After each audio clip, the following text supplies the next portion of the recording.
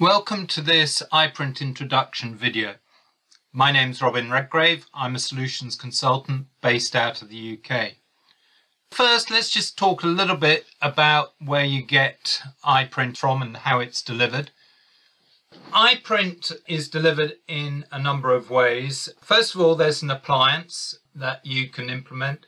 A virtual appliance. You just put it into your hypervisor and we support VMware, Hyper-V, Xen, Citrix Xen. And the other way you can get it is if you've got OES maintenance, then you've got an entitlement for iPrint Advanced to run on your OES servers. Just be aware that it's not installed by default. The iPrint that's installed by default isn't the advanced version with the features I'm going through in this video.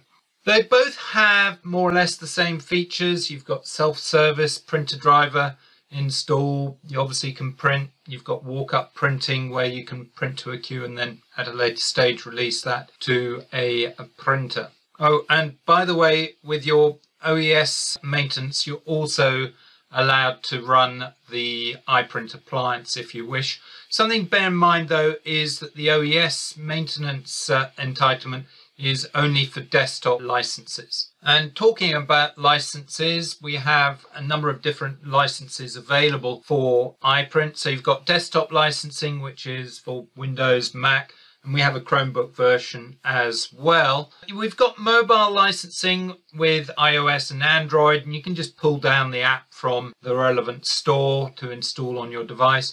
And we do have enterprise licensing, which is effectively both desktop and mobile licensing as one license. So let's just talk a bit about self-service printer drivers. iPrint allows the end user to deliver printer drivers to their workstation without the need for any IT involvement whatsoever. So it makes IT's life quite a bit easier. The administrator can upload printer drivers into what's called a driver store and they can be uploaded for each platform that the user's running. So it could be a Mac, it could be Windows 16-bit, Windows 64-bit, and so on. With each driver that's pulled down by the user, you can set up a driver profile. So these are the default settings, you know, default to duplex printing, to black and white printing, and so on. So as the user installs a particular printer driver, a particular profile can be installed at the same time. And something that's quite nice is that if you update the printer driver in the driver store, then you can push down that updated driver to all the users that are using it. So as far as delivery is concerned, there are a number of ways that the user can uh, install a printer driver. Something that we use in-house is installing it through a map. So we have a map of the world. You can click on a country, a town, go into the floor plan. And then all you need to do is just click on a printer to install that particular printer driver. The other way that you can install printer drivers is through the iPrint portal. This is just a web-based portal that will list each printer that you've got and you can select the printer to install from there. Just something to bear in mind, if you're using this self-service printer driver installation, you do need to install the iPrint client. And effectively what that gives you is what I call traditional printing from an application. So when you go to the file print option uh, in Word, for instance, there. So let's just have a look at that. On a web page that I can hit with the map, and a floor plan. And indeed, I find this quite useful when I'm in a office I'm not familiar with. I can see on the floor plan where the printer is. Uh, in the past, I used to go have to go running around trying to work out where the printer was. With this, I can actually see where the printer is. Let's just install this printer here. So I just need to click on that. And I can set that as the default printer. I won't in this instance. And I'll just say I want to install it. Yes.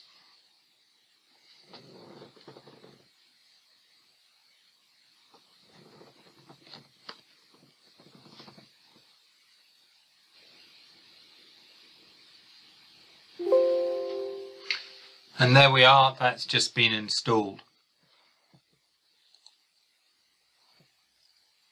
The other way is from the iPrint portal where we can list printers. In this case, I've only got three that are publicly available. Let's just install this walk-up printer. So we'll talk a bit about walk-up printing later on, but effectively that lets me print to a queue and then at a later stage select which printer that's going to print out on.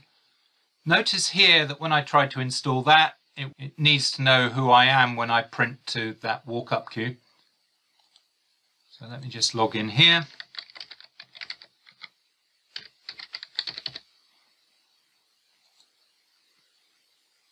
And you'll notice that I can actually see a few more printers once it knows who I am because these are secured printers and only selected people have rights to print to them. So now if I click on that install option here, and indeed I do have install options for the other ones, so let's just install uh, this one. And I do want to install it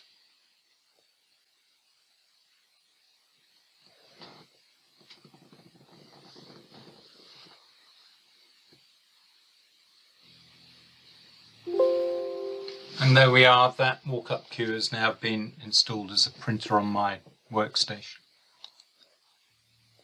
So let's now just go through some of the print options that you've got of how a user can print. We mentioned before that you've got what I call traditional printing, the standard printing that you get from an application. You have to have installed the printer driver uh, for that to work. And depending on the security of a printer, you may need to authenticate to access that printer when you print to it. But something you can do is cache your credentials so you don't get asked every time that you print to that. So let's just have a look at that. So I'm in Word here. Let me just go to File, Print, and you can see here in my printers, the top two there are the ones that I've got for iPrint uh, installed. So let's just print to the walk-up print queue.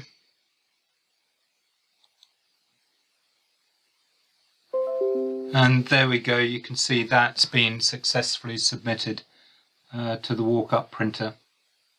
The next printing method I want to show you is what we call iPrint Lite. It's effectively a context menu based printing from the Windows File Explorer. But the great thing about this is that you do not need to install a printer driver in order to print. So it's very easy to print to a printer that you don't often print to. And unlike traditional printing, you don't need to open the document when you print it. So let's just have a look at that. So here, if I just select document to print, I can right click on it and I've got the option here for iPrint. So let me just select that I can do a drop down and select the printer from there. But in this case, I want to print to the walk-up queue, so I'll log in. Obviously, when I print to a walk-up queue, it needs to know who I am. So when I want to release my print jobs, it knows which print jobs are mine. So in this instance, I'll just log in here. And let's just select the walk-up queue. And I can just print that from here. And there we go. You can see that's been successfully printed and there is the client just notifying me of that as well.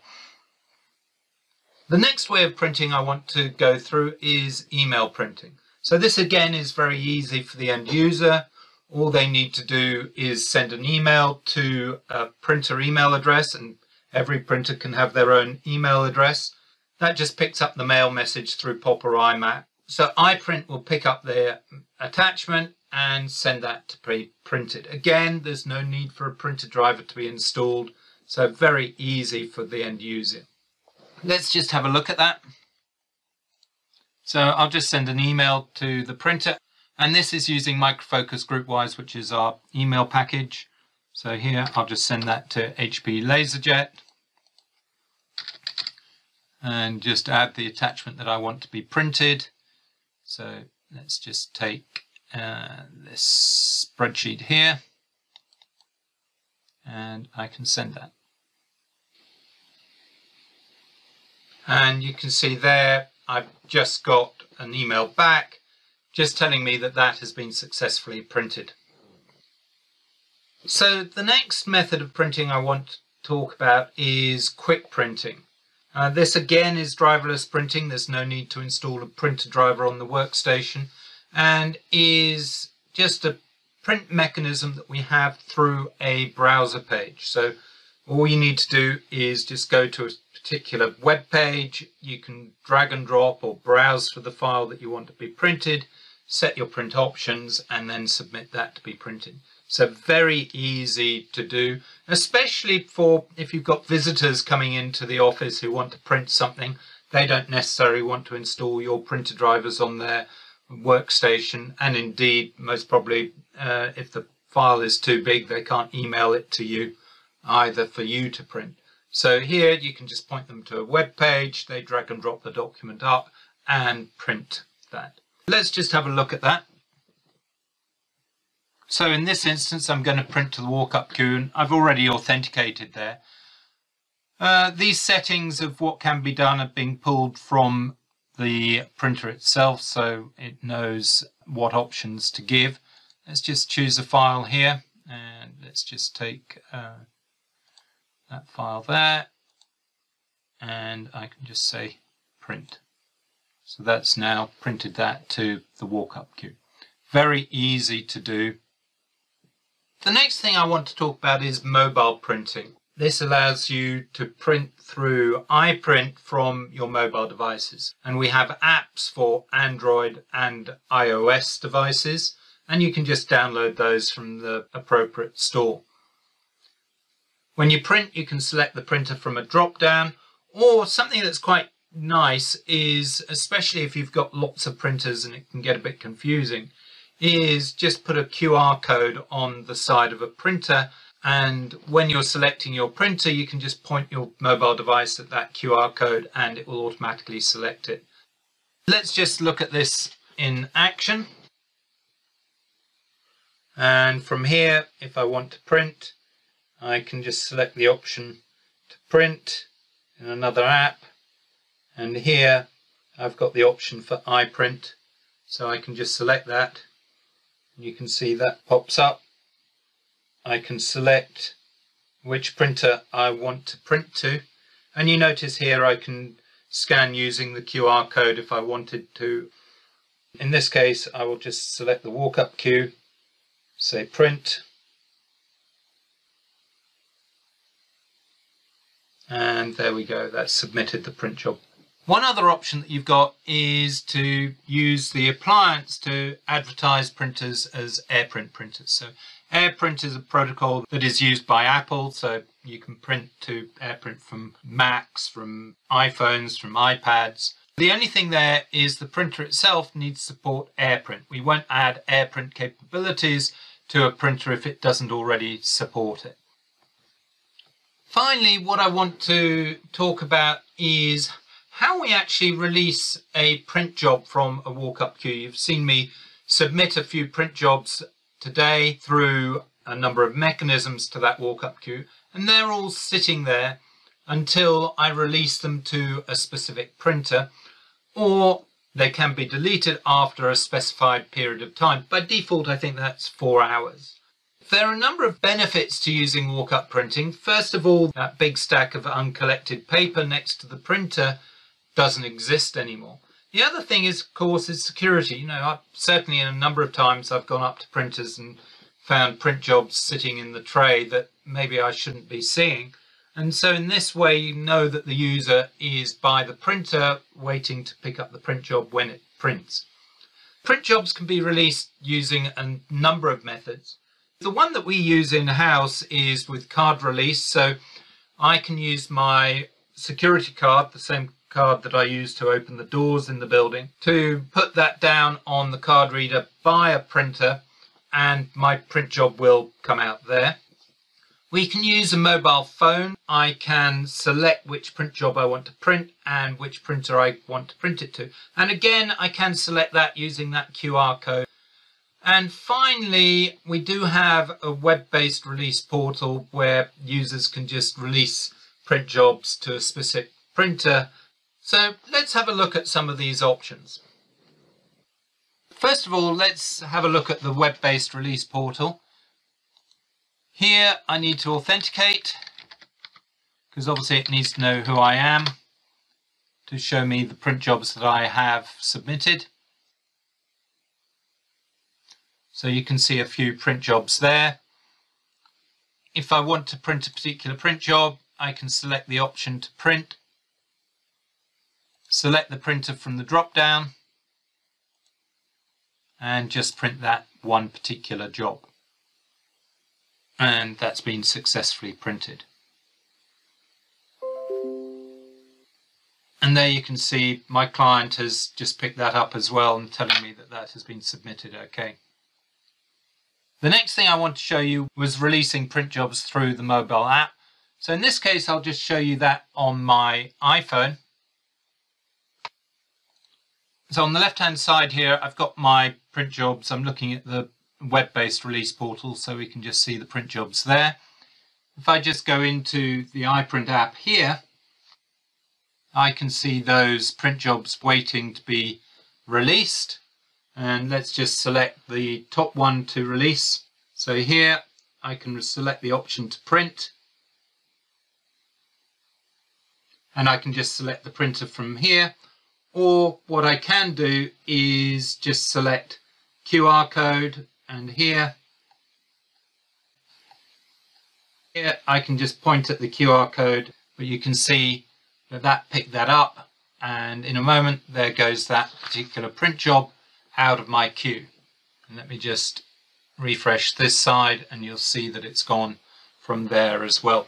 The nice thing about the phone release is that I can use that with the desktop licenses. I don't have to have a mobile license in order to use my mobile phone to release print jobs.